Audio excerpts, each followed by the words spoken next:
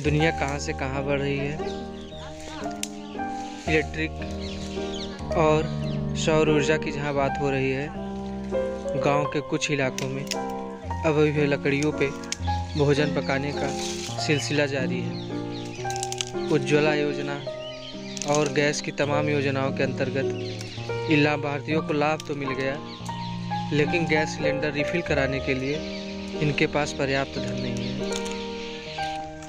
जहाँ कन्याओं की शिक्षा और शिक्षाओं और प्रगति की बात की जा रही हो, वहाँ पे ये छोटी लड़कियाँ घर की जिम्मेवारी के बोझ के तले लकड़ियाँ उठा रही हैं, लकड़ियाँ तोड़ रही हैं।